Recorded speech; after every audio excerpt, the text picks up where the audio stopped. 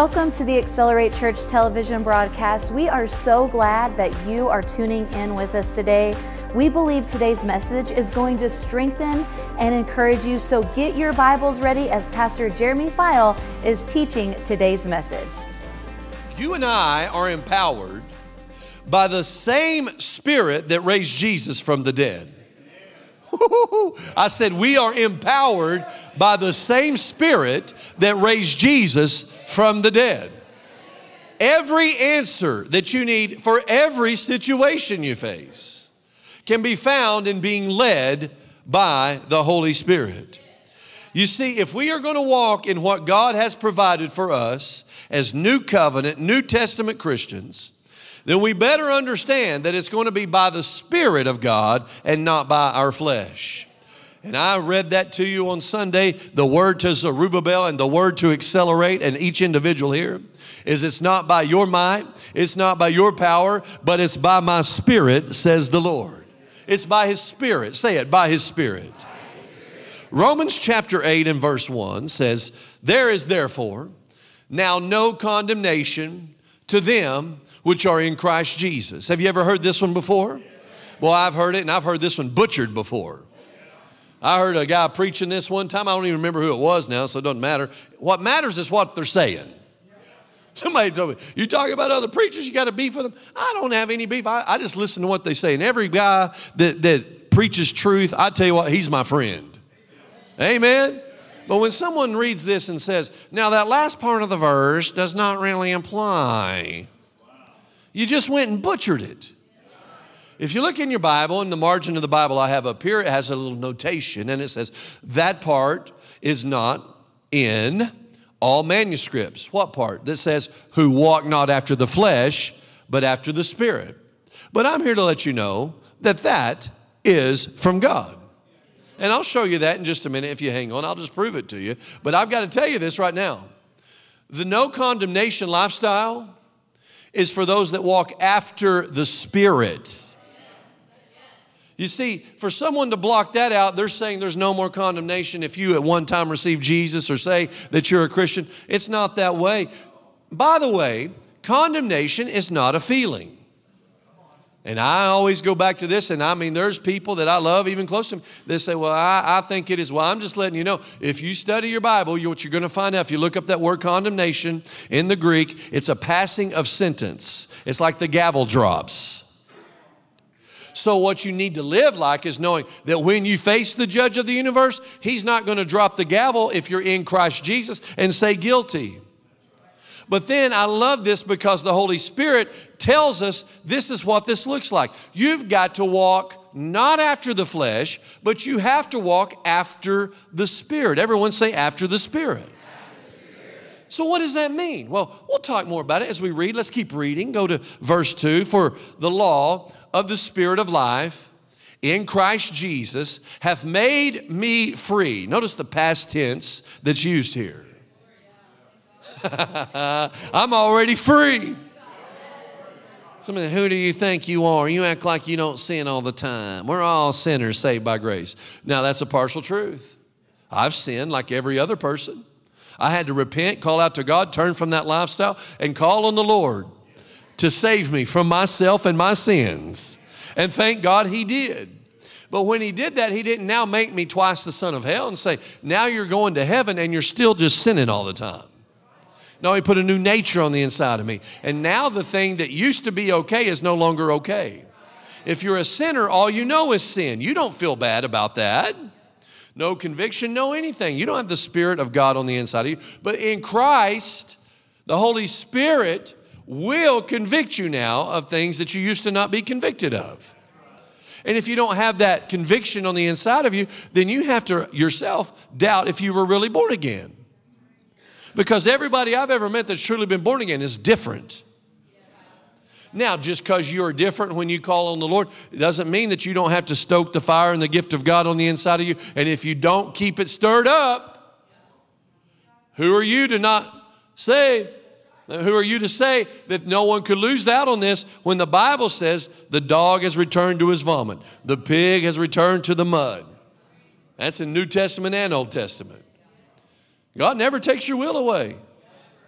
That's why every morning, see, like I said, you ought to say, Lord, I'm yours. I thank you, Lord. I thank you. I'm willing to do whatever you call me to do. Amen?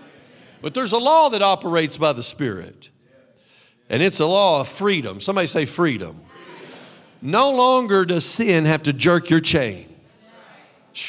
I could prove that two chapters before, but that's not my assignment tonight. But I will say, Romans chapter 6 says, Let not sin therefore reign in your mortal body couldn't be more specific. You haven't got your immortal body yet, so it's not talking about an eternity. You know, I've asked people, do you believe you'll be sinning when you get to heaven? Well, no. Well, you got an immortal body. I would hope not.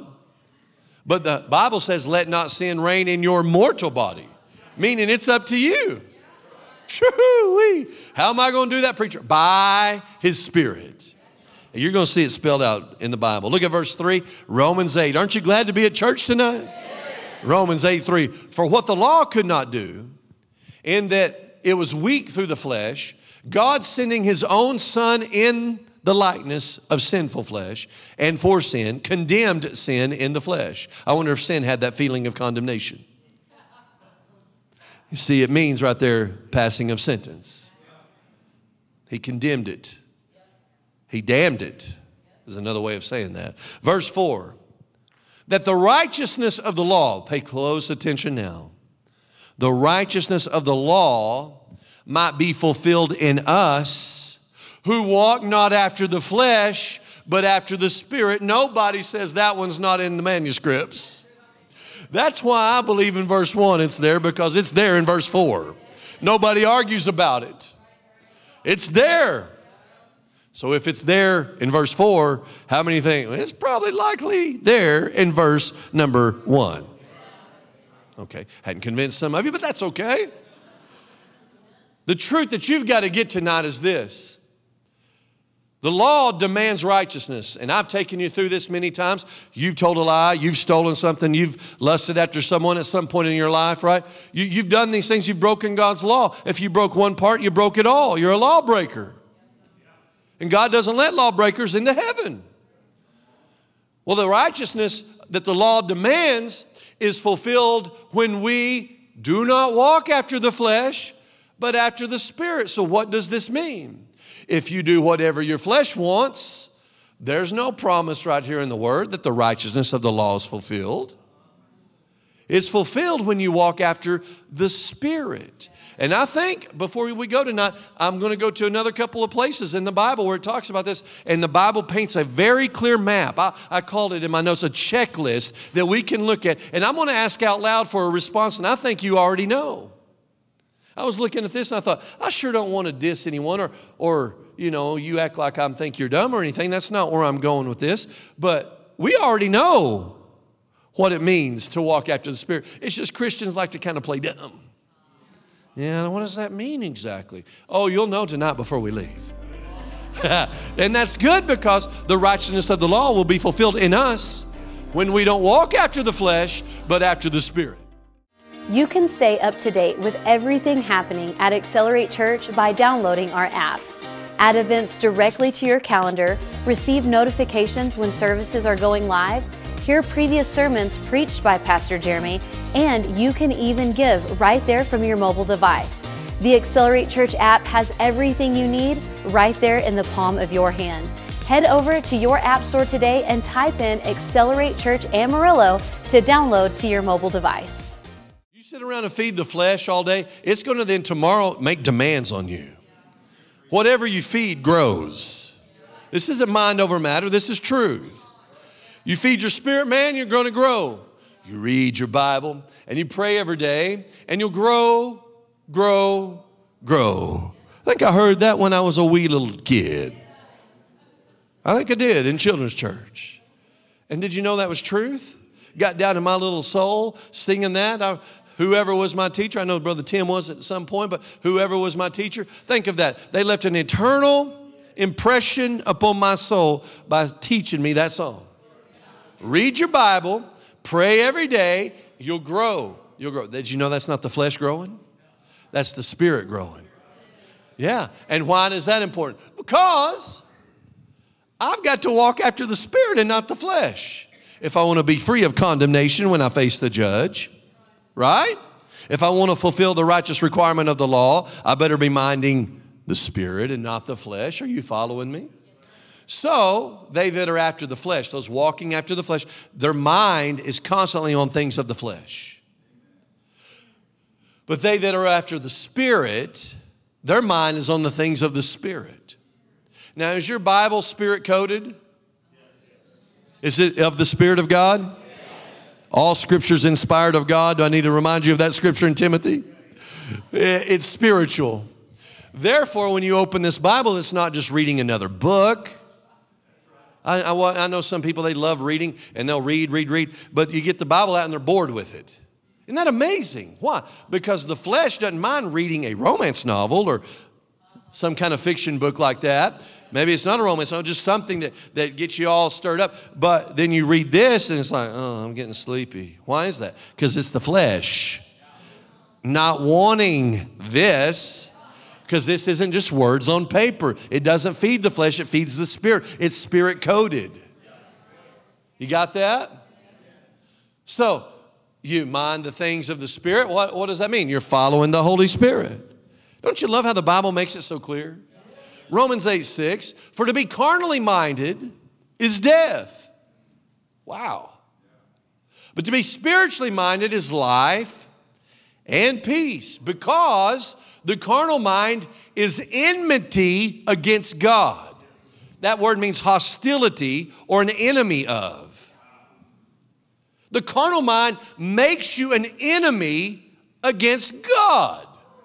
Now, my friend, you don't want to take your last breath thinking, oh, I'm going to meet the King of Kings. He's so loving, he's so gracious, it's going to be wonderful. But yet, the way you think is against him. That's a dangerous spot to be in.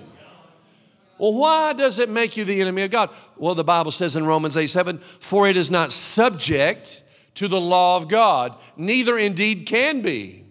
You see, carnal thoughts, fleshy thoughts, are thoughts that aren't submitted to God.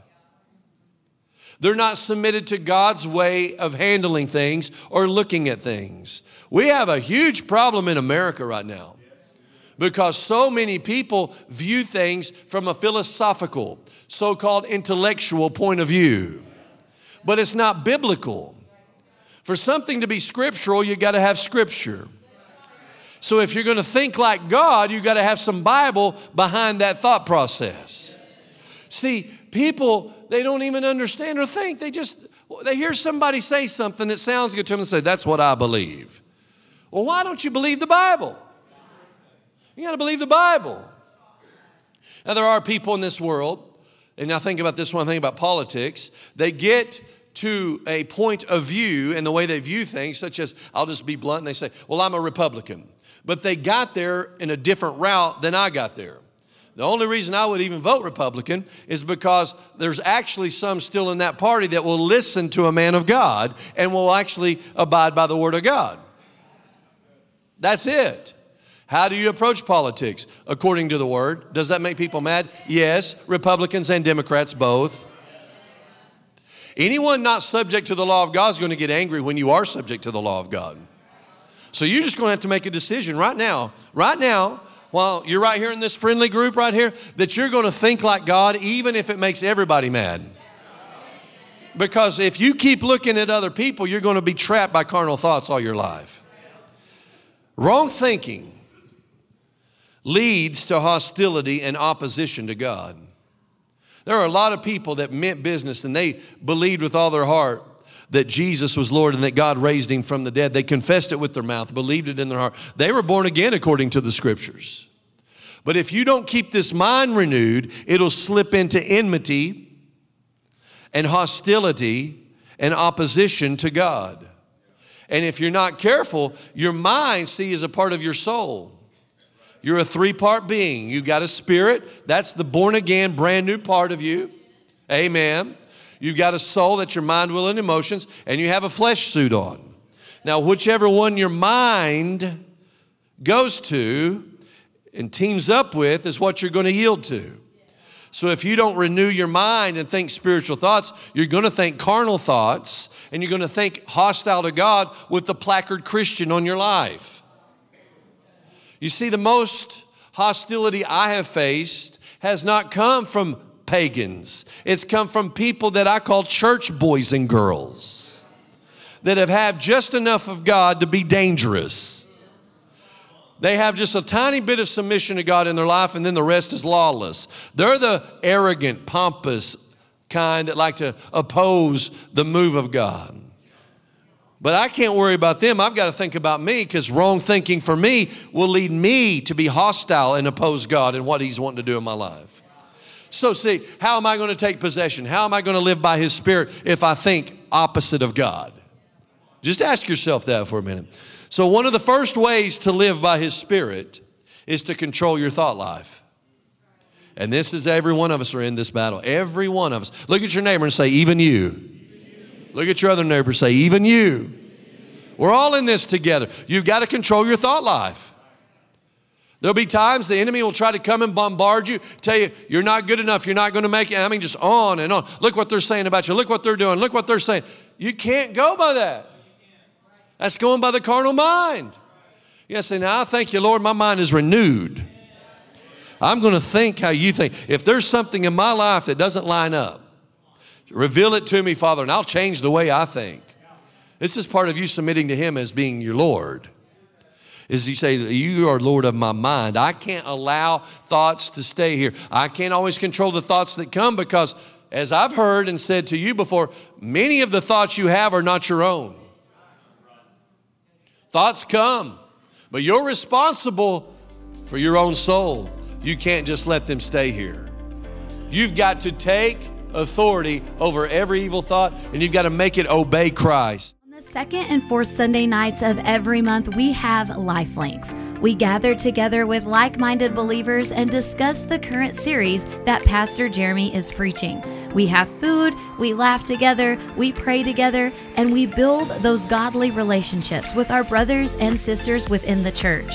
We would love for you to join us for Life Links. You can find a list of all of our groups along with their locations on our app, our website, or just stop by the desk in the lobby. We have someone there ready to help you find the perfect Life Link group.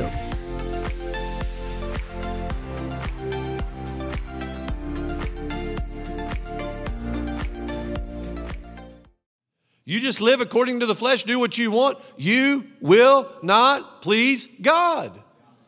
Which means we can't just set on default. We're going to have to be intentional about this.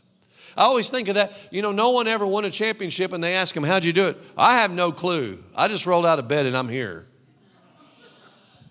There's never been anywhere, anyone, anywhere, anytime that won that had that speech. I have no idea. I just, you know, I woke up and they said, Here, the trophy's yours. No, there's a whole lot you didn't see that happened, right?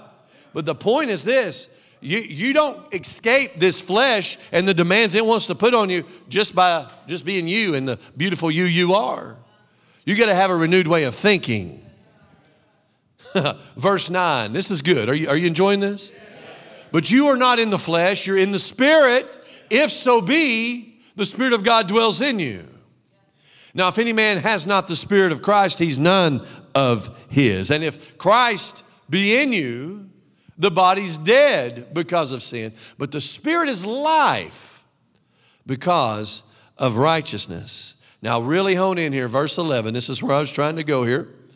And of course, I've got a lot more to go, but verse 11, Romans 8. If the Spirit of Him that raised up Jesus from the dead dwells in you, he that raised up Christ from the dead shall also quicken your mortal bodies.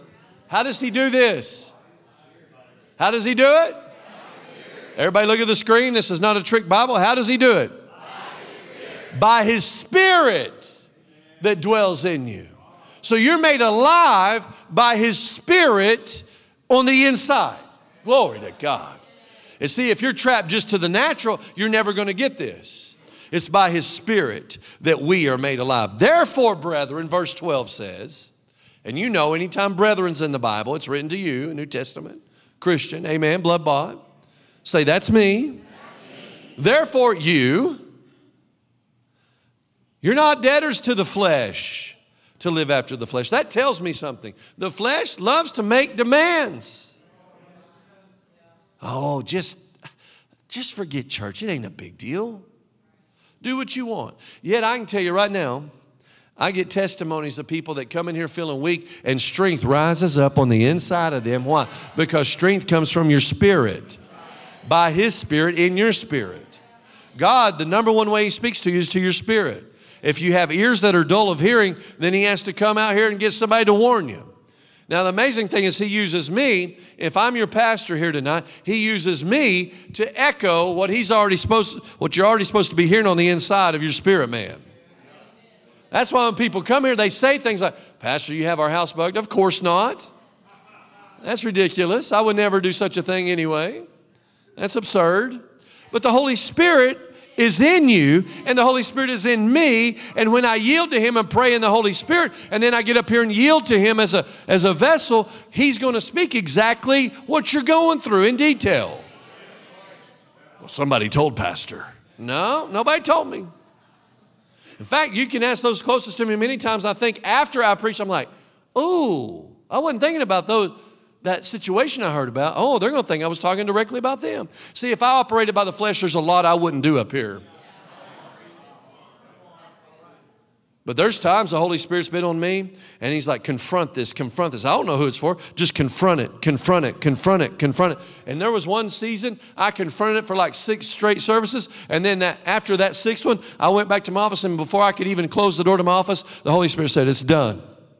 I've never done it. I've never touched that specific thing again since that night. Because I was, and I don't know who that, I don't know all the, I don't have to see it all in the natural to understand. I just follow the Holy Ghost. He knows. I trust him. Do you trust him? Well, you're here, so I believe you have a level of trust in him. And you know what? He's speaking to you right now. You're not a debtor to live according to the flesh. Yeah, we're not to live after the flesh. No, no, no. For if we live after the flesh, we shall die. Now, this scripture's always stuck out to me, and I've preached this before, but you need to hear it again because you're all going to die. So this can't be talking about just natural death. If Jesus tarries his coming, not everyone in this room is going to die. Let me back up. Let me let me retract. I got to watch my words close because there are those that are alive and remain will be caught up to meet the Lord in the air. You'll never see death. Amen. I'm believing for uh, the majority of all of you to be there. But if Jesus tarries his coming, we're all going to die. I mean, everyone born 150 years ago, if they've all died. You can't say, well, they all lived after the flesh. There were some born 150 years ago that were powerful men and women of God that didn't live by the flesh, they lived by the Spirit. So this isn't talking about physical death, this is talking about spiritual death. If you live after the flesh, you just do whatever you want, you're going to die spiritually. But if you, through the Spirit, oh, did you see that? We already read the verse a while ago that said, by his Spirit. This one says, through the Spirit. Hmm. Mortify the deeds of the body, you shall live.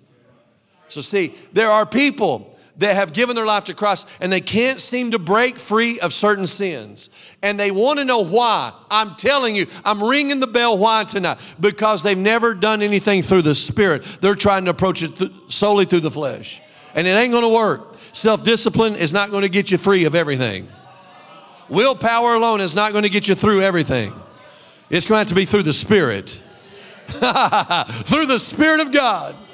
Woo, praise God. The only way you're going to be able to put the works of the flesh to death is through the Spirit. Somebody say amen. amen.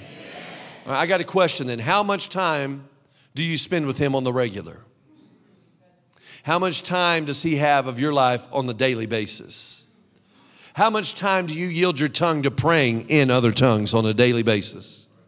Don't get mad or convicted in here and say, oh, you're condemning. I'm not condemning you. Hopefully, you're convicted because there's nobody in here that spends too much time praying in the Holy Ghost. There's not anybody that exists. Well, they pray way too much in the Holy Spirit. I mean, you got to think about the Apostle Paul. He went to the Corinth church and they, he had to correct them because they were wild about speaking in tongues. And he said, Hold up, I speak in tongues more than all of you. That's a lot. He's praying in tongues all the time. If he does that, and he didn't lie, by the way, that wouldn't be in scripture in a lie. The Holy Spirit never inspired a lie. You following me tonight? So he's praying in the Spirit. Why? Through the Spirit, he was able to mortify. That means to kill the deeds, the works of the body. Guess what? That's the way to life through the Spirit. Are you out there? Are you alive tonight? Again, when you feed the flesh, it's going to make demands. It can jerk your chain all around. But through the Spirit, you can put that to death and break free.